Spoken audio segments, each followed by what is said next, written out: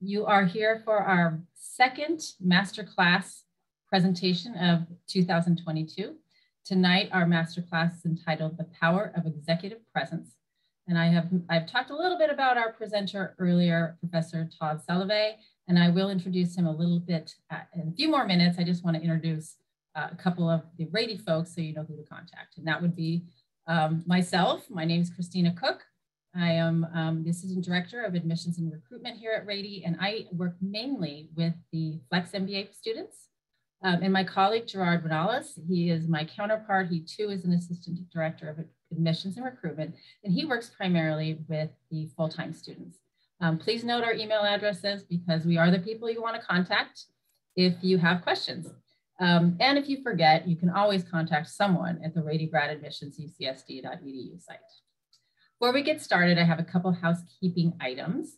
Number one, this class is scheduled to last 45 minutes, but um, I think uh, Professor Salovey has, has noted he's able to stay for a few more minutes if the questions are, are requiring that.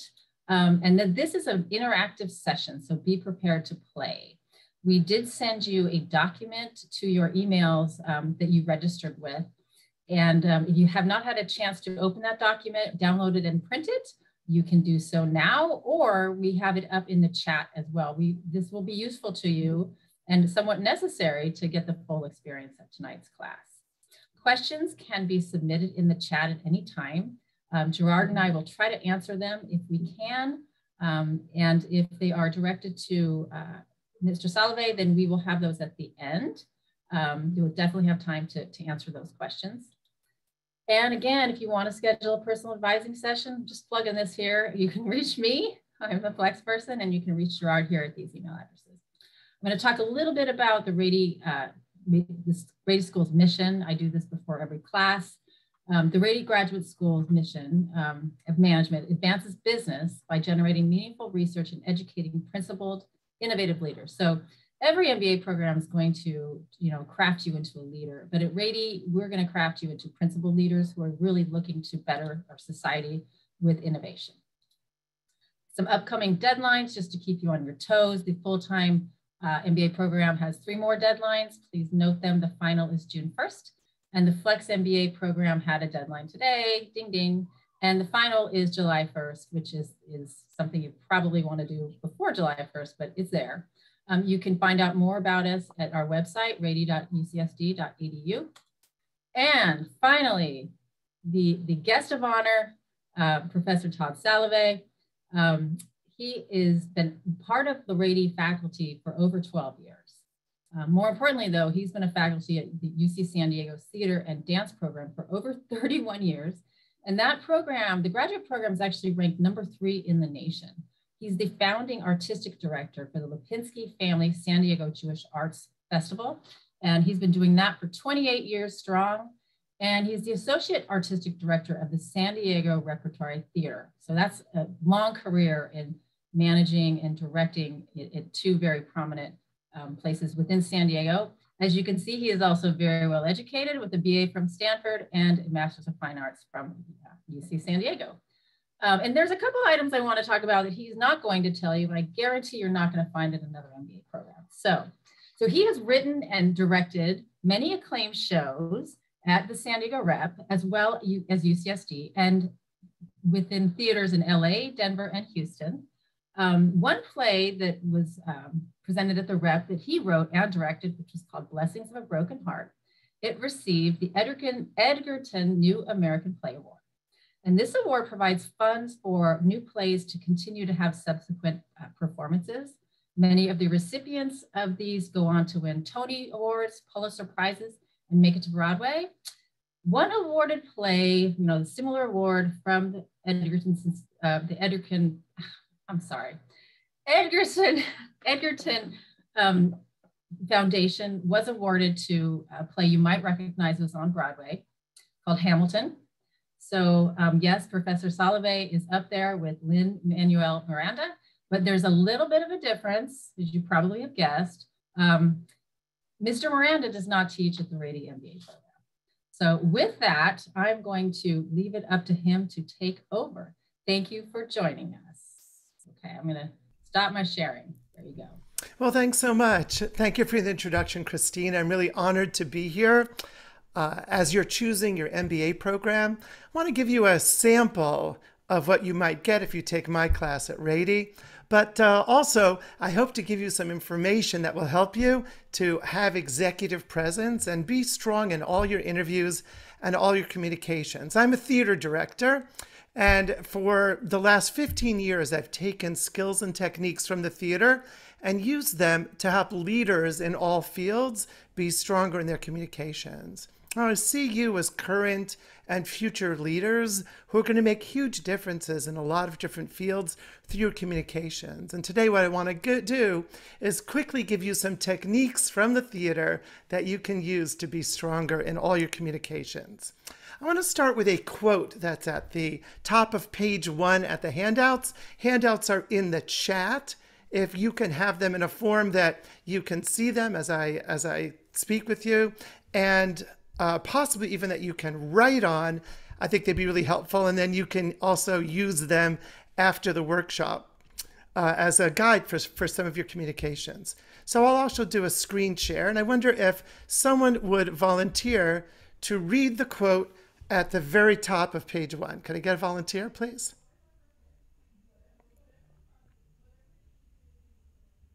Yeah, I can read it. Thank you.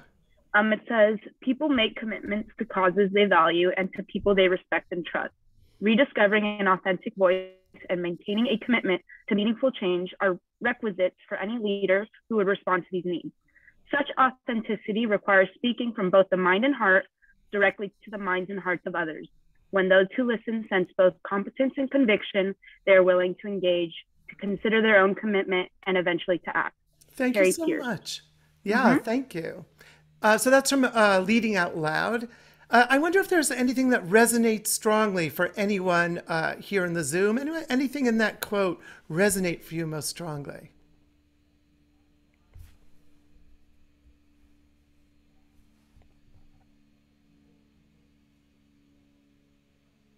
Anyone?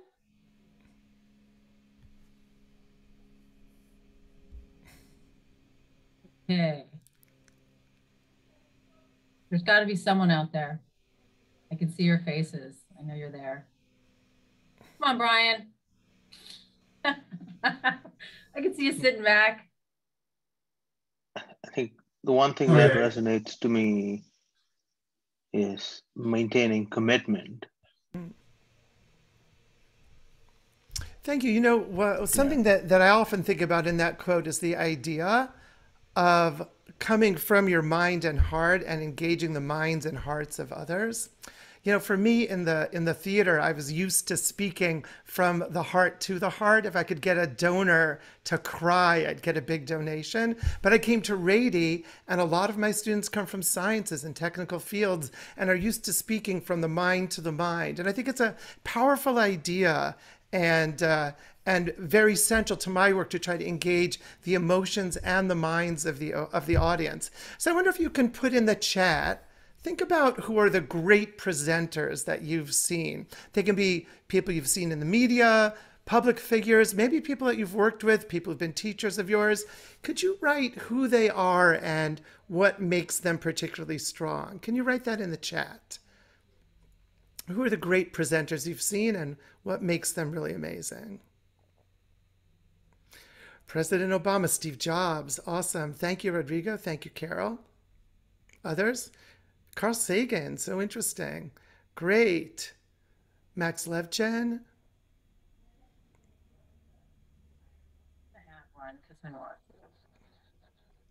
So many interest, so many interesting ones. I'm actually reading one of Brene Brown's books right now. Would someone would someone speak out to us one thing that makes one of these people a great speaker? I know you may not have been prepared to be so public today, but I just want to invite you to share an idea. I, I can share. Thank you. Um, I think great speakers tend to be charismatic and often inspirational and uh, make it easy to uh, for an audience that maybe is not familiar with that field to uh, find a message or understand a message that they're trying to convey. Uh, Cheryl, I love what you're saying. So, this idea of inspiring people and also taking complicated ideas and being able to convey them to people that may be in different fields. Danae, did you have an idea? I did. It, it kind of um, goes nicely with what Taylor was saying, and that's just that they um, can speak about things in a, in a humanizing manner. So, um, making things that are complex still relatable and making you feel kind of aligned with what they're talking about and, and excited about their journey. Uh, I love the idea of humanizing. Um, I see that Natalie in chat in the chat says it feels like they're speaking directly and personally to you. Isn't it interesting that a lot of these qualities that make someone great speakers, they're they're not about what they're saying as much as how they're saying it and the way they're engaging the audience. So that's what a lot of my work is in helping you, yes, to structure material and to be clear and uh, to be dramatic in the way that you express yourself, and especially to be authentic, but also to find ways to engage the audience with your passion, with your commitment, with your humanity, and with your emotions. If I uh, go a little further, what I'm going to work on today is some techniques. I really want to give you value quickly today. So I'm going to work on presence, uh, authenticity, winning the first 60 seconds, starting with what matters with your values, and something that I call the four C's. So for I know I know that uh, many of you will be doing interviews for MBA programs and they'll be on Zoom. So I want to share some ideas first of all about presence and success on Zoom. So the first thing I'm going to talk about is framing, just simply where you are in your frame. Uh, how you show up on the Zoom, I think, is an important choice. An idea that we have, and it comes from video, is that your eyes, ideally, are at the two thirds level of your screen. So I'm on my screen and I'm trying to set myself up so I'm at the two thirds level of your screen. Um, I try to have my camera positioned at eye level. Uh, I'm also looking at I'm also looking at where I'm get, getting cut off in my body. And I'm trying to cut myself off at an unnatural place so that you imagine the rest of the area beneath my body. So, framing is a really important part of setting yourself off to be present and have commanding presence when you're on Zoom. Another idea that maybe you haven't thought a lot about is lighting. Uh, for me, uh, I like to think, of course, of lighting is in front, and the best kind of lighting that you can use is sunlight. But when you're not speaking from sunlight, what I do is actually I put a light 45 degrees to my right and another light 45 degrees to my left, so that I'm actually casting some shadows so you get a sense of texturing on my face. Okay, here's a big idea. And this idea is, and again, this is all in the notes on top of page two, uh, is engaging your camera. So I know it's tempting, and I would love to do this, is just look at your pictures. Um, and sometimes, you know, you have to look at people in order to connect, to feel like you're with people. But try to treat your camera as one of the people who's also in your Zoom. So you see, if I'm looking at the lowest level of my Zoom, then you don't really see my eyes. But if I treat the camera as one of the people that I'm speaking to, then you get a better sense of my presence. Again, executive presence here on Zoom. Another, another hack that I use is to take someone that I'm speaking to and I move them in the Zoom underneath my camera so that I can look at Jarrett and look at my camera back and forth very easily. A physical idea that I like to think about is an idea of being open and forward. So I want my energy towards the camera, towards you, to be open. Anything that I'm doing to hide myself and block myself off from you is giving you less value from me. So, for example, if I'm folding my hands, if my hands are up here, but particularly if I'm reading something, and I know we all read off the screen.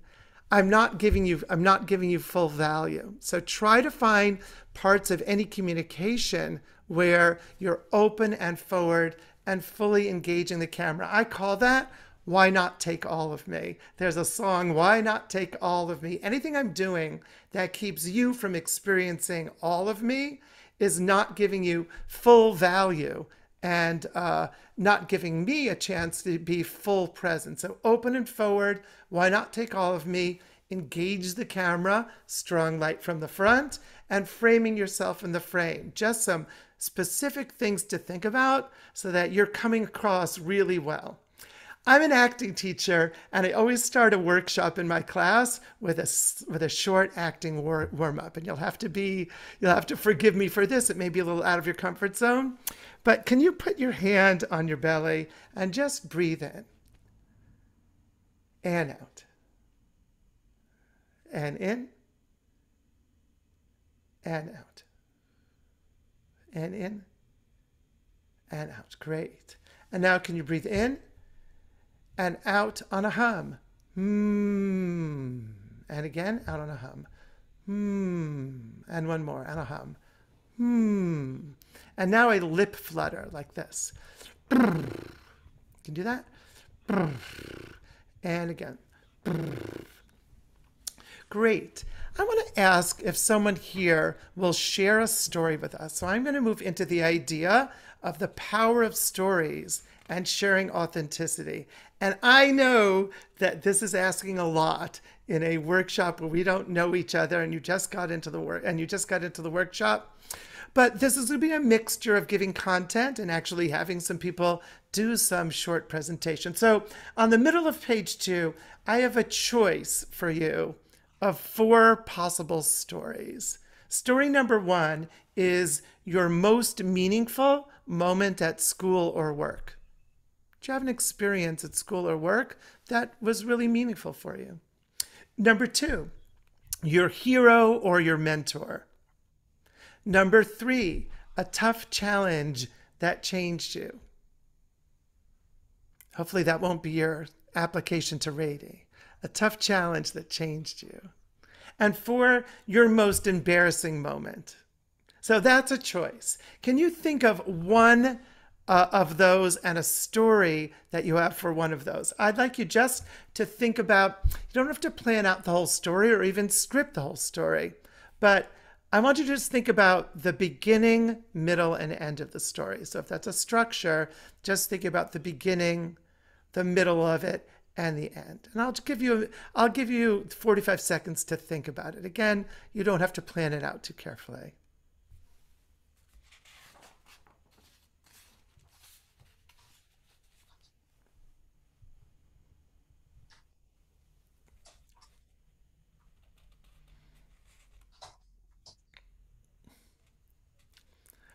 Okay, awesome. I do this with so much trepidation, but please, would someone volunteer to share one of their four stories? Either your most meaningful moment at work, your hero, a tough challenge that changed you, or your most embarrassing moment. Let me open the floor for someone to share a story with us. Yeah, I like to volunteer, sir. Thank you so much, Keith. No worries. So um, I used to work for an armored truck company called Brinks and I had uh, progressed very well uh, from a starting position and eventually ended up into a minor leadership role while I was working with the company. Um, fairly early on into my career with them as a leader, there was a day when most of the management team, team was either on vacation or at a convention, and it really fell down on me. Um, so one day in particular, I was all by myself. Things were going smooth until it did not had several sick calls. Um, we had people running late, and and when the, the, the moment everything broke down, the part that really broke me was that one of our trucks broke down in the middle of the 805 and rush hour traffic. Uh, I had a mental block, and I had only one other person there to really assist me during this time. And he he stood back for a moment. He saw that look in my face, uh, the freeze, and he he he said, "Keith, calm down um, let me help you work out through this. And he started to make some calls. We called the police to try and assist us. And he started to really take the tasks to the, the, the things we needed to do to de-escalate the situation one by one to figure out the solution and how we could un uh, get us out of this mess. And I really cherished that moment. It really changed me because I, I the mental block had, had just stopped me from really solving the situation. And the way he was able to um, de-escalate the task and find many solutions to the problems we were experiencing really changed the way I would think about challenges that I would eventually face later on in my life. Uh, let's give Keith a round of applause for sharing that. Thank you so much. I really appreciate that. So let me ask you a question. How do you listen when someone shares an authentic story? How do you listen to it? I don't want to share how you, what you were thinking about or doing as you listened.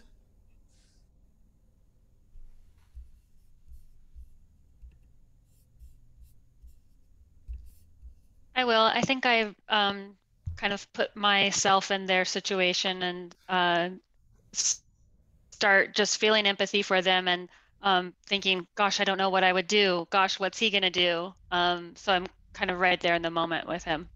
It's so interesting, don't we listen in such a such a giving way, in a generous way, when someone shares authenticity with us.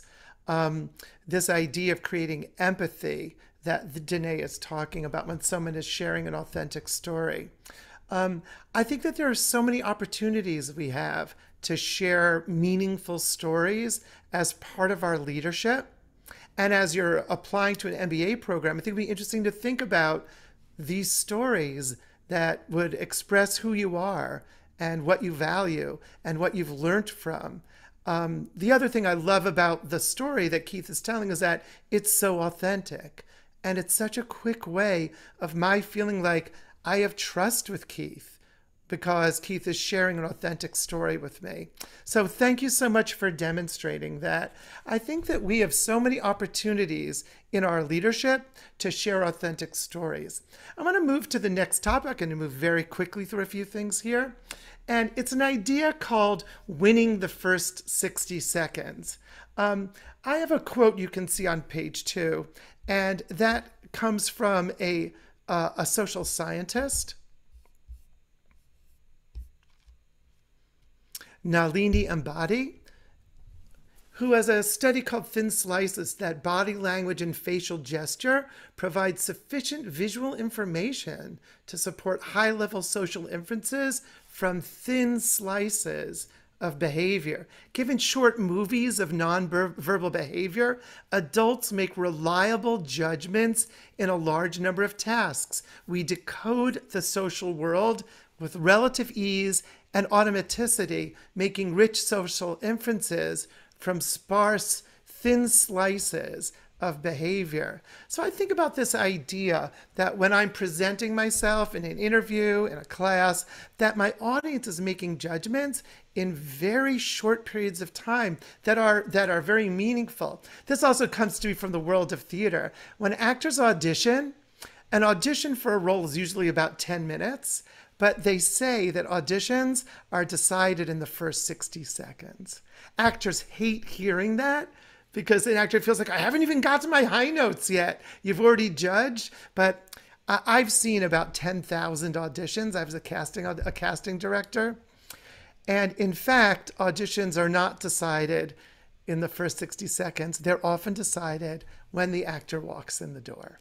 So what am I what am I noticing? What am I deciding in 60 seconds in a blink, right? To quote Malcolm Gladwell. So I decide what I've thought about is that we're actually noticing two key relationships and a focus.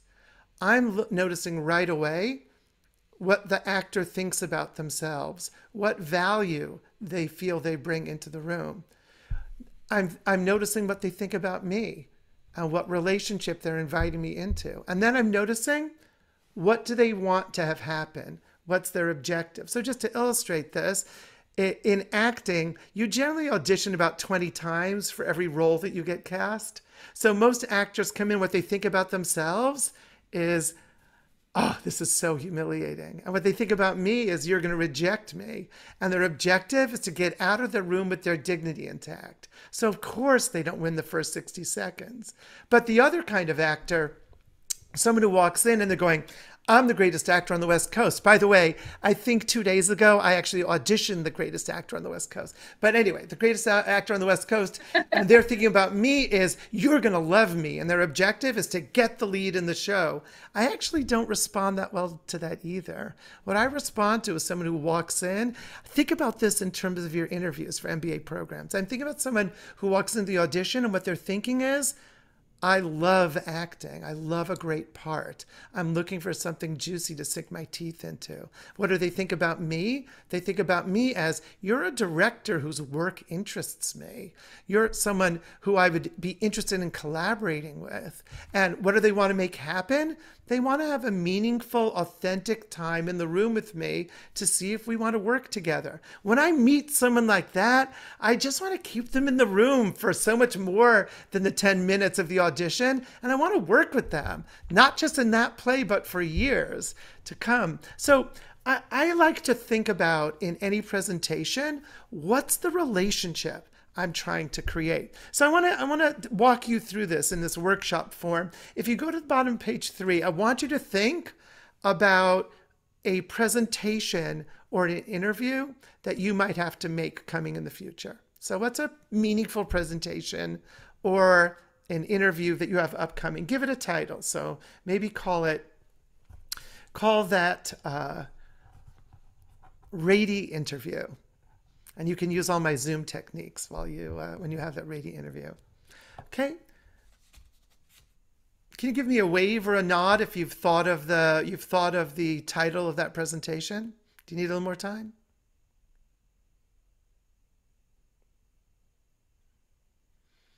So what I want you to think about in preparation for a presentation of walking in the room and winning the first 60 seconds is what's your relationship to yourself? What value do you think you brought in the room, bring in the room? Why do you deserve to be there? What do you care about? What do you value? I think even if you just write what you care about, you know, I'm looking for a, I'm looking, I'm looking for a place where I can really grow and challenge myself. What do you care about? If I'm talking to a donor, I might be thinking, I really want to strengthen our community through great art.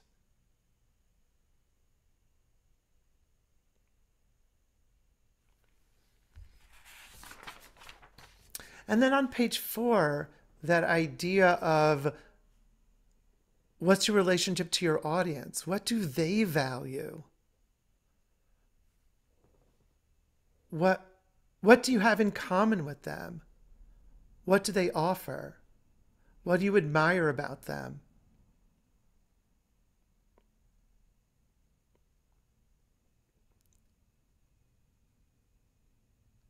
Gosh, just thinking about that in terms of my audience, if I'm thinking about an MBA interview, just thinking about that, you know that you know you're someone who's who's who's looking for people that are great fit for the program. You're someone who has wisdom about how i can meaningfully spend the next two or three years or there's so many things that you can uh, you know that you can think about the other person as opposed to that you're judging me right? And then what's your objective? What what do you want what do you want the audience to do what do you want the person talking to do? Obviously, you want them to look you in the eye and say, right, that like, you're a perfect fit for this. Or maybe you want them to, to actually advise you about whether you are a perfect fit for this. Or maybe you want them to recommend to you where you'd be a perfect fit for, what the next step should be.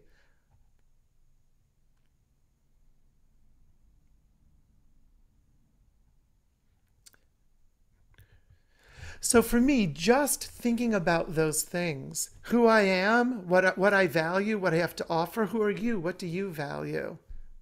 What do you have to offer? Sometimes I think about what excellence can I bring out to you, in you? And what's my objective? What do I, what do I want to make happen? So again, those are, if you've ever taken acting to me, those are the given circumstances that you go in before your entrance to play your scene thinking about. What I find is that audiences if you embody a certain relationship, like that, the audiences will often join you in that relationship. So if I treat you like partners, you'll enter into that relationship with me. So what I then do is I take that work and I make an opening script out of it.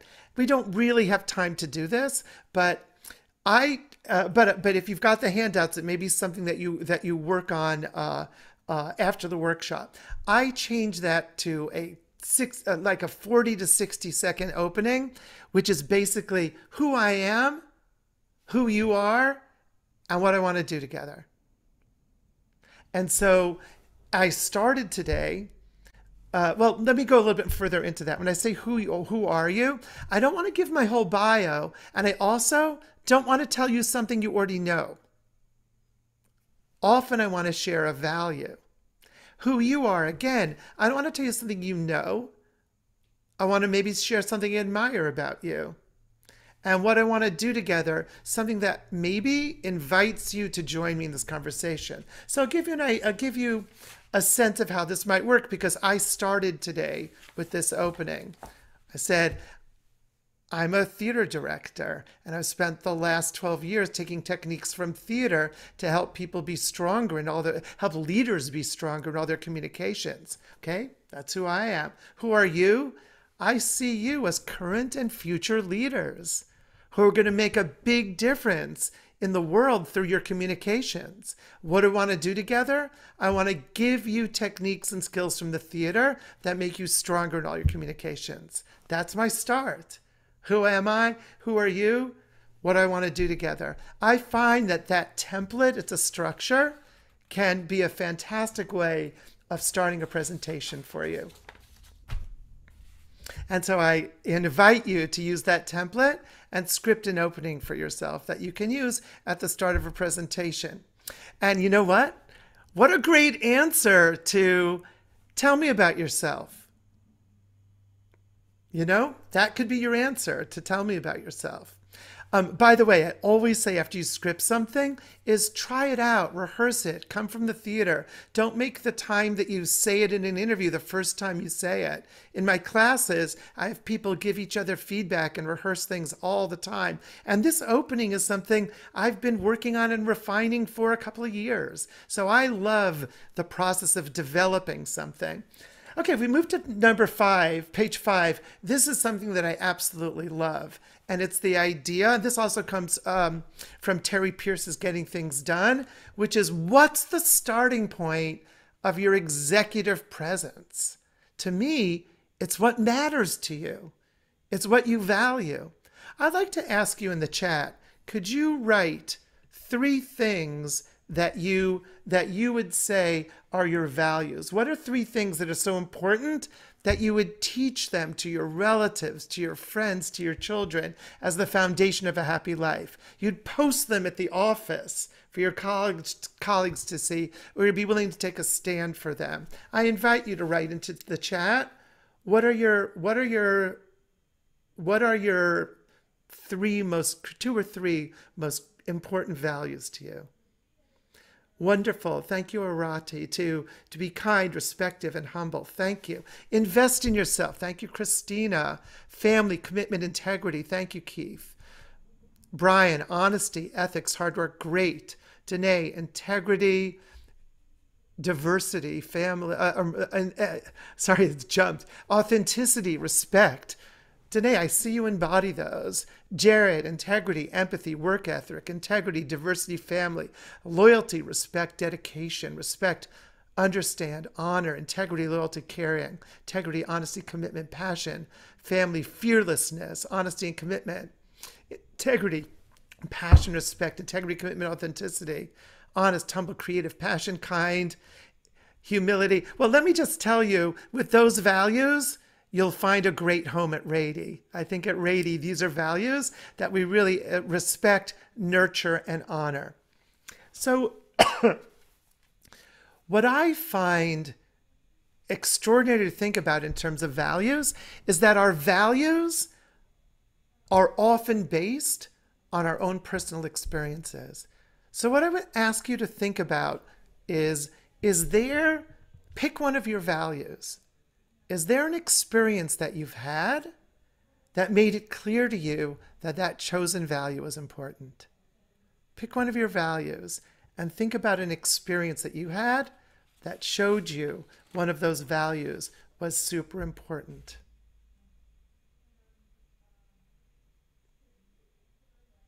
Okay, again, I, I, I ask you to take a huge risk with me. And would someone share their story of the what happened to make you see that that value is important? I invite someone to to volunteer.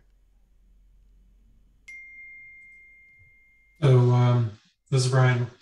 Thank you. Uh, recently at work, I worked directly for um, the senior leadership team, and there was a um, a reorg that recently happened, and uh, I do a report for the president, and he gives it to the owner of the company, and uh, the new manager for me decided they wanted to see that report before the vice president of the company had a chance to look at all the inputs that I collect for them, and um, I felt that that was an ethical violation because it was uh, taking information that was not theirs before the vice president had a chance to approve it. And uh, in the end, um, I'm getting a promotion for it. So it's um, I, I, saw that there was a problem and I raised a flag and uh, I did it in a polite way. Thank you, Brian. Again, uh, I give you a round of applause for sharing that story with us. Again, look at the power of authenticity, the power of someone sharing an authentic story. Again, why is that powerful? Because I think there's a sense of stakes in it, because it's very authentic, and because it's not scripted. It's something that's being created for us right now, right in this moment. So we listen to it in a certain way. And frankly, it's also really inspiring to hear. I think also that idea of leading with your values and a story of your values is also a great start to a tell me about yourself question that might come in an interview. You know? So think about this. You know, someone says to you, tell me about yourself, and you say, well, you know, I've been working in the theater. I've been working in the theater. I have a bachelor's from Stanford. I went to UCSD. That's not nearly as interesting as someone saying, like, um, I really, I, I think that creativity and communal experiences in the theater can heal people in a different time and then I, in a difficult time. And then I tell a story about what just happened to me directing a company together in a play while we were being tested three times a week for COVID and just feeling that we created a community of a piece that could heal people to bring to the public. That's so much more interesting than my sharing something that's right on my resume and that someone probably has already read. Um, although, to be honest, I have to say one of the things I teach is that facts are super important. And so when you're communicating, possibly the most powerful thing you can do is to have one, two, three of really persuasive facts that you can speak about very clearly and passionately that make your case. Um, on page six, I want to give you something I call the four C's. People ask me, uh, people ask me, if you want to get better at presentations, what can you do right away to do it? And uh, if you, just in case that you don't have the handouts right now, I'll um, I'll put that up for you on the on the screen share. So the three, the four C's for me are to connect, to converse, to command, and to commit. And I'd like to describe each of these. So for me, the starting point of a presentation is connect to what you're talking about. Find your interest and your passion in what you're talking about and connect to your audience, especially if you're in person, to make strong eye contact. Actually, look at people in the room, be available to people. And if you're on Zoom, Connect to people through the camera. Connect to people by the generosity of why not take all of me. Converse. Um, I don't think people like speeches. I even if I'm speaking, I want the audience to know that I want to hear what you have to say. So every presentation, make it feel not like a speech, make it feel like an invitation to be part of a conversation. Command. C- to me, command is a few things. If you're in person, command to me means shoulders back, lead from the heart, and use enough sound to fill the room. What's interesting is if you use enough volume, volume is uh, is interpreted as confidence, and confidence is interpreted as competence. So I've been speaking loud, and people think I know what I'm talking about. So shoulders back, lead from the heart, fill the room with sound.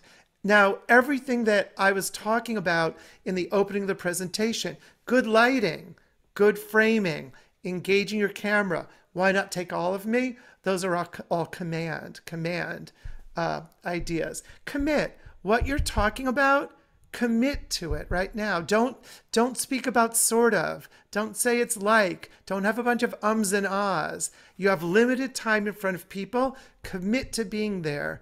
Commit to the things that you're speaking about. You can practice this anytime you want. Take my four questions what's your name, where you're from, what values most important to you, what scares you, and what do you want to be doing in three years? And those are all things, and you can do a practice of doing the four C's and just.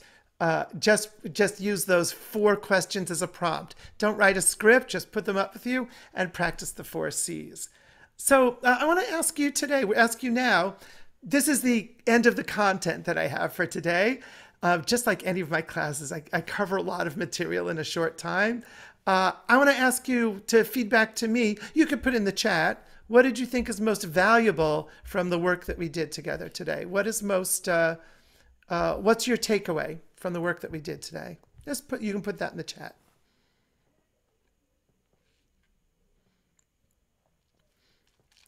Also to phrase that it's about something that that that you can do. Uh, what's one takeaway to make your presentations and your presence stronger? Prepare for an interview. Thanks. Oh thank you sergio. Speaking with passion being authentic. Thank you. Bringing our value and what you care about. Thank you. Stephen taking all of you relationship to the audience being confident from within. Fill the room with sound. Thank you hari to michael be yourself and be passionate Great. Jared, I'm glad you appreciate the printout. Thank you. So, in summary today, when you're in interview and when you're in communication, be open and forward and think about inviting the audience to get the most value by taking all of you. Um, your sweet spot in communication are your own thoughts, your own experiences, your own stories. Your authenticity is that sweet spot.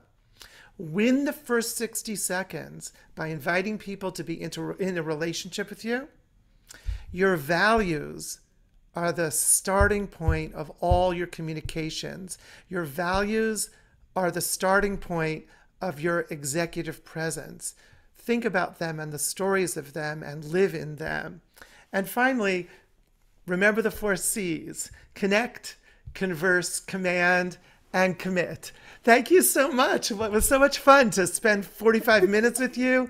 And uh, I look forward to seeing you at Rady. And uh, I have my email at the bottom. If you have any questions for me that you want to send me over an email, I'm happy to do it.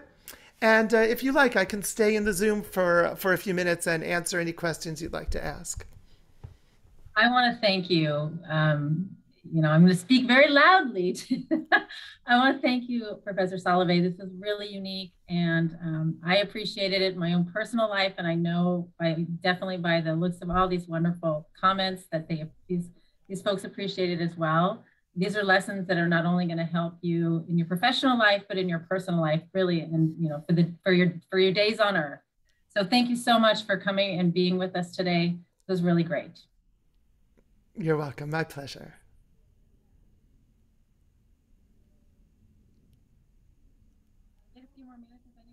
Questions. Actually, I'm going to ask you a quick question.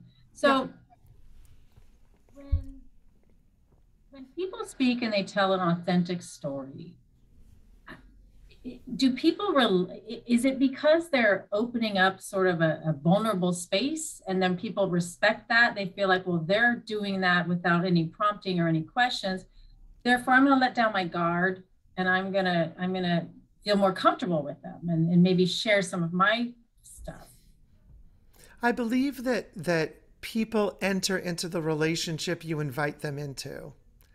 And and that by sharing an authentic story, you're showing me that you trust me and that you're willing to be vulnerable and authentic with me.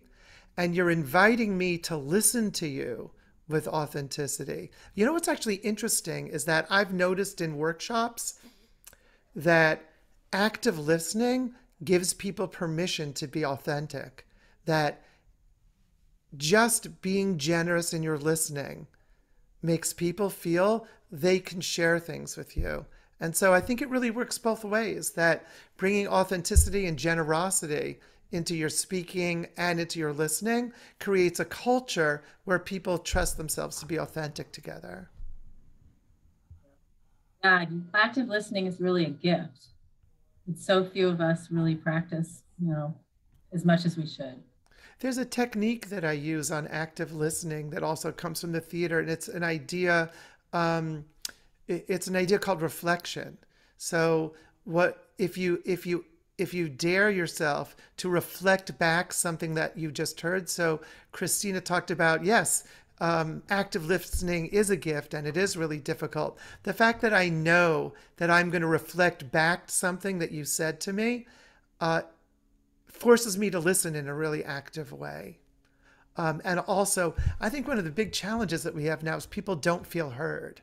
People feel invisible. I don't know if you feel that way, but I think a lot of people feel invisible. And it's such a gift and an honor that you give to people. I see with, with so many of the values that we have, they involve being generous to other people.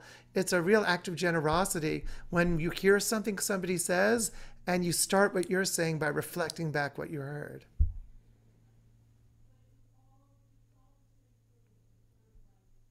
And the simple way to do a reflection is to say, what I, what I heard you say was this.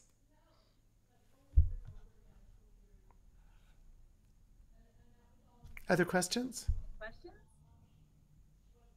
I have a question. Um, thank you so much. It's definitely really uh, helpful tips and lessons that I'm gonna take advantage of. But uh, one of the questions I had is just like um, there are so many different schools out there.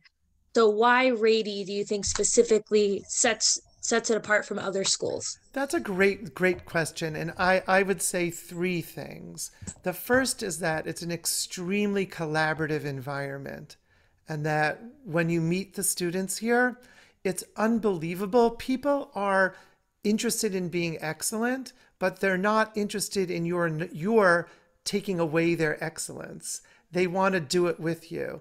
And I find that the students at Rady are tremendously collaborative and supportive, and they really help each other do so many things. A second reason is that it's a very international program, and people are just amazed at the diversity of the student body.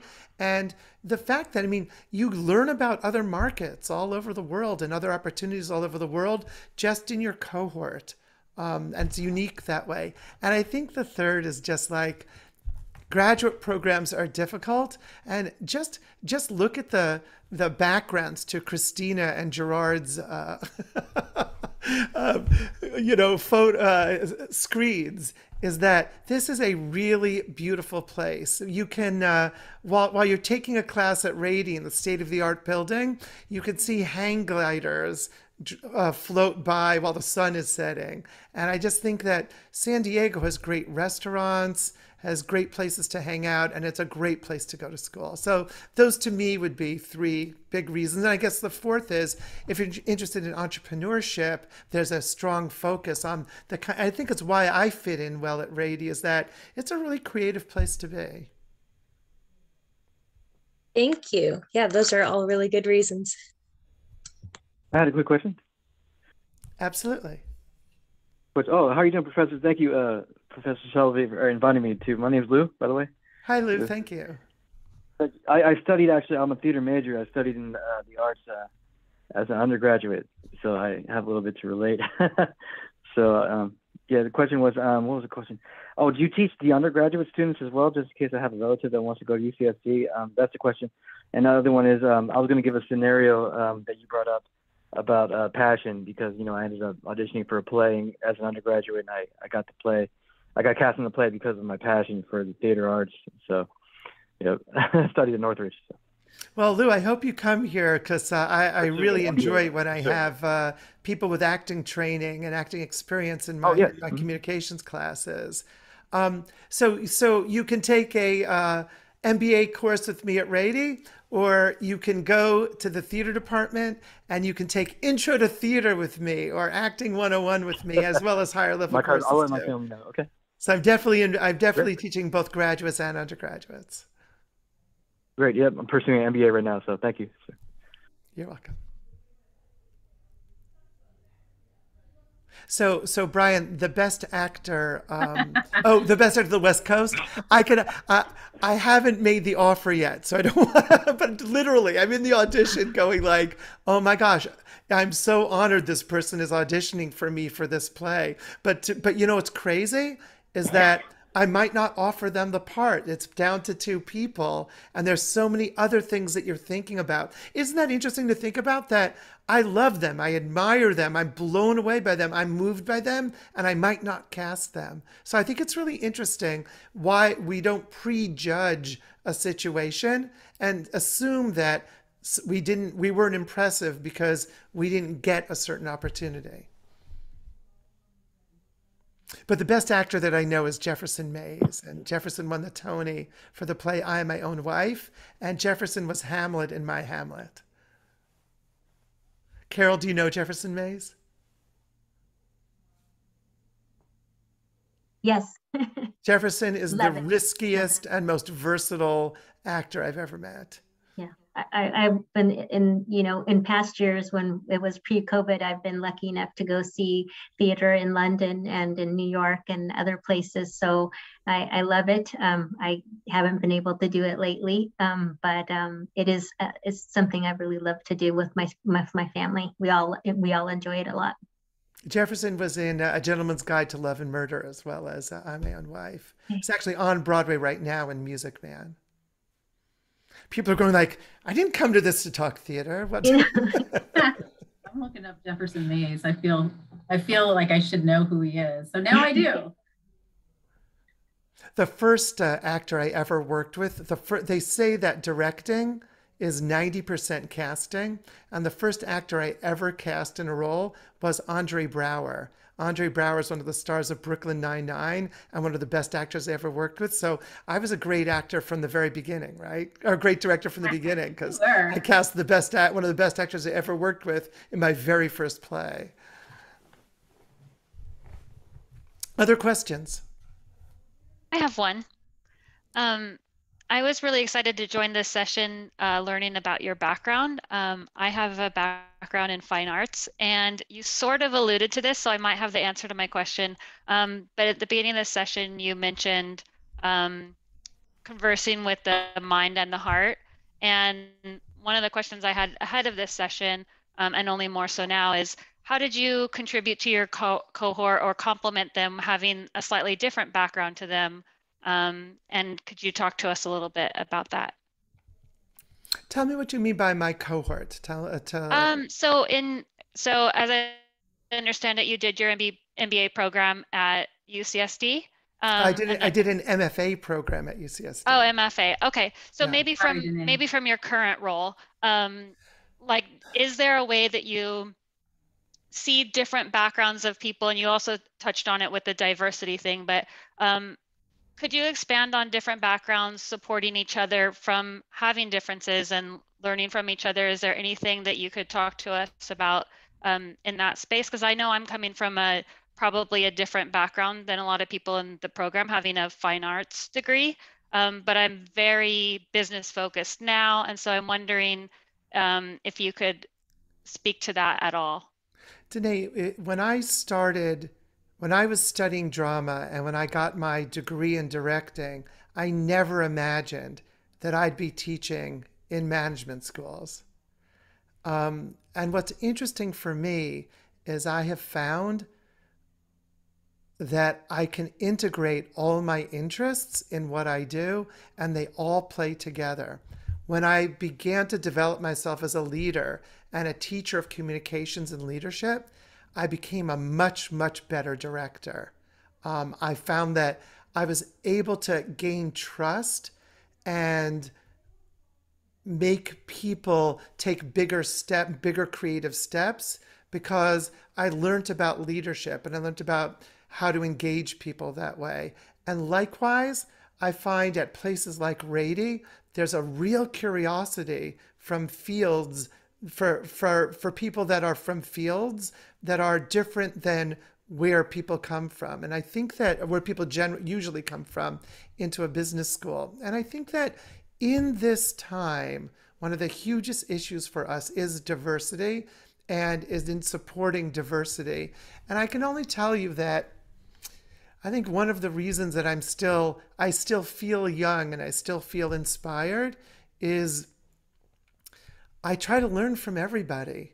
And there's a deep thinking in this, which is that sometimes we think I teach an idea called I teach a concept called fierce conversations. And fierce conversations are the difficult conversations.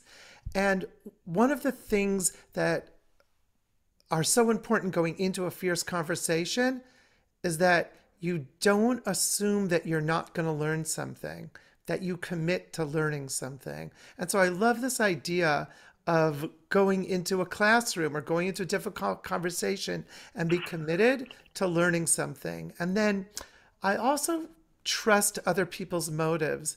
I think when I was younger, I thought a lot that like people that were, I thought about sides, do you know? And that there were these divisions were on different sides.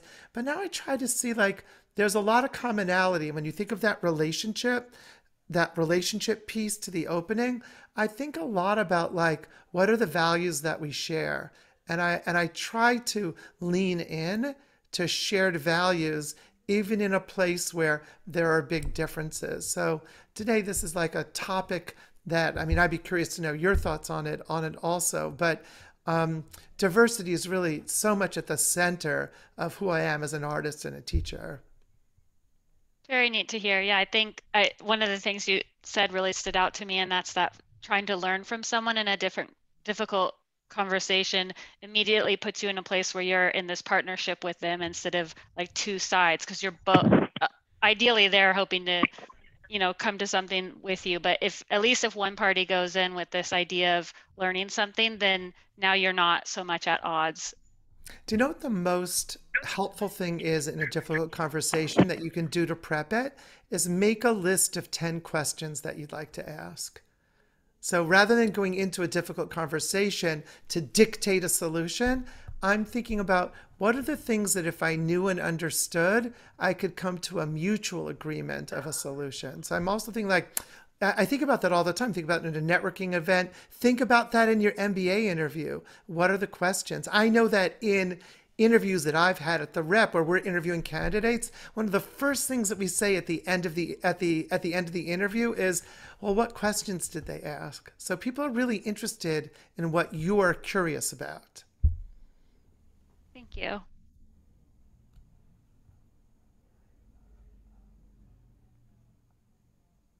Other questions? Okay, my email is at the bottom of the form. I'm really happy to be in touch with you. You may think I, am like not being serious, but I actually um, I love coaching uh, any of my Rady students outside of class because I just feel as though these skills that we do in communications have an effect on so many aspects of our life. And if it can help people get stronger in any level of communications, I guess it's something I feel is really valuable. So I invite you to be in touch with me. I hope I can uh, uh, give value for you. Very, very much for everyone, and a special thanks to Professor Salovey. Thank you very much. And I look forward to interviewing all of you and I hope to see all these wonderful techniques. I want to a- answer Piyush's question, which is how do you look and smile at the camera and look real? Let me give you a hack on this because I think there's actually something which is really helpful. And I'm going to do it right now, which is you know those three dots on the right of your picture? If I hide self view, I can engage much more with my camera. That our eye on the Zoom screen is always drawn to the most charismatic and attractive person on the screen, and it's always ourself. Exactly. And if I get myself off of the screen, then I'm much better at engaging my camera. And and it actually took me a while on Zoom to discover that. But if I take myself out, then I can engage with my camera uh, as if it's one of the people that's in the room.